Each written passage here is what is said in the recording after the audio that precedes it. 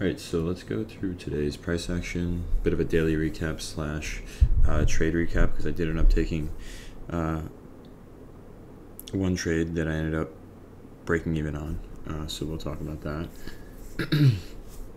so coming into to today, it was a little tough because I was bullish, and I still am on the higher time frame. Weekly objective, I want to see this previous weekly high get taken. And if you go to the daily, this morning, I wanted to see we were trading higher than we are now. I wanted to see this previous daily high get taken. That was more of the intraday goal, if anything. Now, that being said, what I didn't like was when I went down to the lower time frames, like the four hour, and I was seeing, right, liquidity that had not been taken yet. We had not taken liquidity yet. Um, so what I had was I had liquidity and a bias that were not in alignment. Um, so I don't I don't like to trade in environments like that. If I go to the one hour, you'll see even better how how much liquidity was here. So what I said before market open was realistically what's most likely going to happen is we're going to take this high.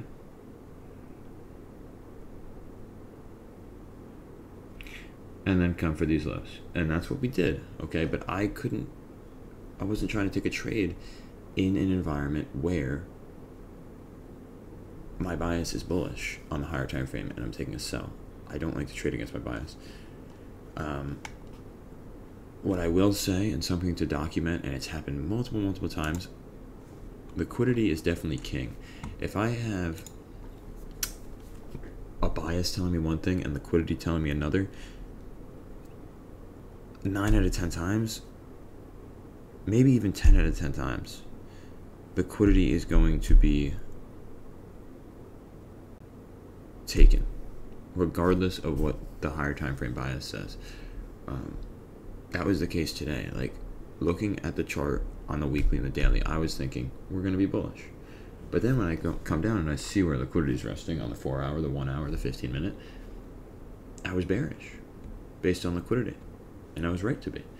Uh, so, anyway, you see we got a nice sweep on market open. And we started to fall, and I was looking for just a demo trade, and I couldn't even get filled with a demo trade because you see, we left fair value gaps. We were so bearish. We were just leaving them. Never came back up into any anything. Right, none of these were filled. Doesn't matter the time frame. This almost filled me. Almost didn't get me though. Um, now I did win on a demo trade because what I did was um, my first take profit would have been here at the data lows based on news. Right, so that would have been my first take profit, and then my second was here.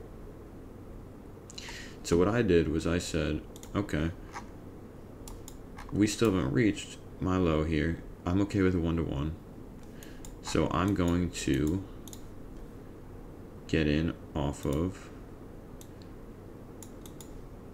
a limit order if we tap into this fair value gap here for a 1 to 1.2.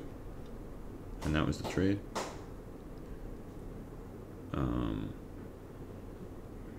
so that was the that was the sell that I took on a demo that would have been a winning trade. I didn't take it on a live account because again, my higher time frame bias was bullish, so it's tough for me to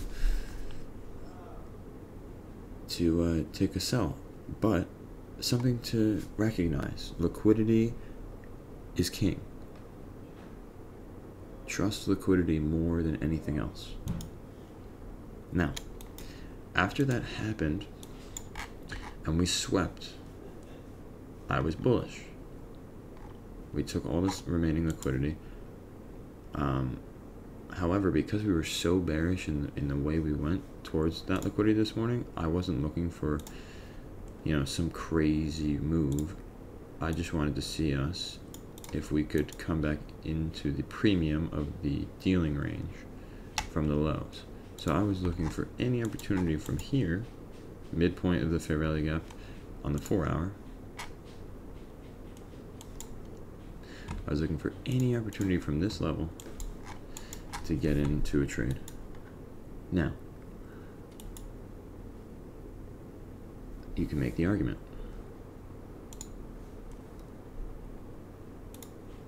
For this.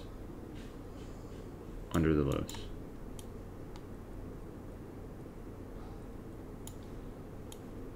In hindsight, maybe that's a good trade I, I could have taken. The reason I didn't take it in that moment was because look at the lows here. I that was not appealing to me. I don't like seeing stuff like this. The trade I ended up taking was here in the two minute.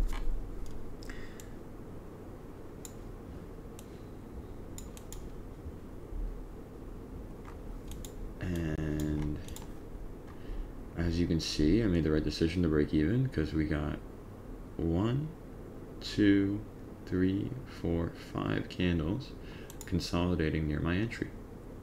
When that happens, I take my losses, I take whatever, maybe it's a you know pip or two in profit, whatever. I take it on the chin, that's it, done, trade's over. And you can see I made the right call there because it would have been a, a loss.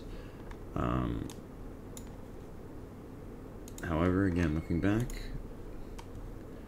this would have been, oh, actually, let me see something. Yeah, this would have been a nice trade here.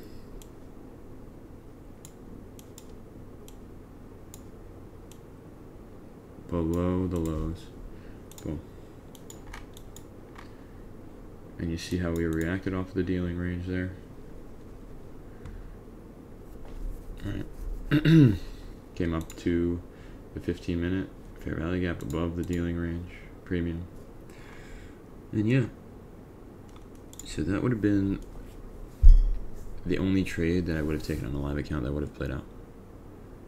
Again, the reason I didn't take it was because I was being maybe a little bit too anal about wanting a perfect trade. That's fair. That's a fair crit uh, criticism. Um, but I didn't take it because, as you can see, we are leaving equal lows, which I would have accounted for with my stop loss. Like I would definitely would have had my stop loss like this underneath the uh, fair value gap. I would have had it like this, but still, I didn't like the idea that we could leave this and then come and sweep and then go. Again, fair criticism is to say that I'm being a little bit too anal with trying to find the perfect trade. Because um, that was a decent opportunity there, so something to make note of. Um, but again, like I'm, I did a excellent job calling what I wanted to see Price do, and it did exactly that uh, two times today. So, yeah, good to see that. Like, obviously, that's a confidence booster. Like, I, I fucking, I, I, I really am getting good at, at um, you know, predicting where price will go. Um, and how it will react off of certain levels, so that's good. Just need to execute a little bit better. But once I was in that one trade, I did a good job to manage it. I followed my trading plan, happy with the day overall. So, yeah.